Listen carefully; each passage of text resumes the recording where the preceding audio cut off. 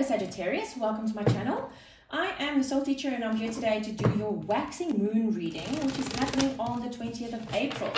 Now, the waxing moon is the time between the new moon and the full moon that we work really hard towards, okay, getting our um, getting our goals to um, to fruition, to get that manifestation to actually manifest in the real world, in the 3D um, also, the full moon is all about closing out of cycles. So, this is about releasing all of the stuff that you don't want to take into the next cycle. Also, the next new, uh, sorry, the next full moon is the 27th of April and it's the full moon in Scorpio. Scorpio energy is all about death and rebirth. So this, to me, it feels like this waxing period is a very significant time because we just had the new moon in Aries, which is the big beginning of all of these new things. And now the next full moon, where we close out stuff, is um, the full moon in Scorpio, which is the death of everything before and the rebirth of something brilliant and new. So, your main energy around yourself for this period, Sagittarius, is star mother. How can you mother yourself? Now, to me, this is a very, very significant card, especially for people like us. Um, I'm Sagittarius as well. We tend to, we are so happy when other people are happy, right? And because we are happy people and very strong people, we tend to not necessarily look at ourselves in that way of mothering ourselves. And I have noticed the last few months, it is imperative for us to practice self love, to give ourselves the TLC that we need. And I feel with this waxing period, we really, really, really need to take care of ourselves. Okay, so I'm just going to pack the spray here, and then as we go along, I will tell you what each card is about. Right. So, Sag, let's see. What is rising up in you between now and the full moon? Whoa, I like that. You're very close to achieving your goal, Sagittarius. Okay, so remember what I said. The waxing period is the, the time between the new moon and the full moon where we work toward, towards um, realizing our goals. And the new moon, oh, sorry, the next full moon is the 27th of April. That's not very far away, right? So we are very close to achieving our goal, Sag. So what I feel is you're so close to achieving your goal. Spend a little bit more time on giving yourself the love that you need and a little bit less time on manifesting this because you're really really close there's time we we don't we don't very often um, get to the point where we can say we have time, right? That's awesome.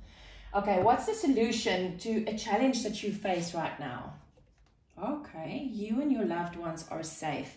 New moon in Cancer. Okay, so Cancer is all about about family, about um, bonds and relationships, and um, like immediate close family. And whenever I get this card, I always feel like it's this is speaking to your immediate family, your your your significant other, your kids, your um, if you're still if you still live with your parents, it's it would be your parents and your siblings or what whatever the case might be.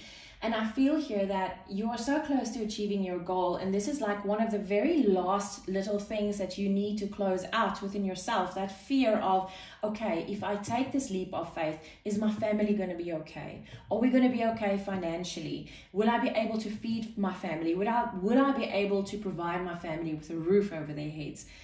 Will my family be okay in terms of if I do decide to go the soul path and, and, and get into a spiritual practice, what would what would my, what would the what what would the, my my kids' friends at school think of them?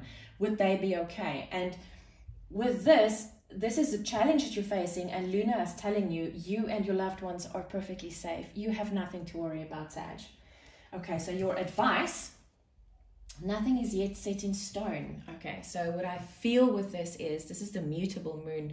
What I feel here is whatever you've been planning, nothing is yet set in stone. So this can be one of two things, and I'm getting both of them. I'm getting like, yes, you might be really close to achieving your goal, but don't back down.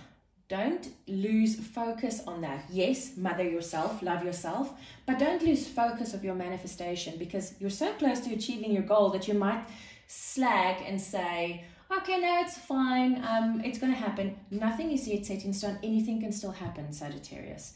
So even though you're going to give yourself a little bit more attention, do not lose your focus. Keep your focus on the, keep your eye on the prize because anything can happen you and you might still lose this. The other thing is when you need to tweak your plan a little bit, when you have to like make an adjustment here or there, nothing is yet set in stone, so it's safe for you to make adjustments to your plan. Okay? So I'm getting both of those. It's a general reading, so take whatever resonates with you. Right, and your final outcome, your commitment is being tested. Okay, and because of that card, how can you mother yourself? This commitment that's being tested is the commitment towards yourself. Because if you're not committed to yourself, you can't be committed to anyone or anything else in your life. You have to start with you. As within, so without. So your commitment is being tested, Sagittarius. How committed are you to yourself? I'll see you on the flip side.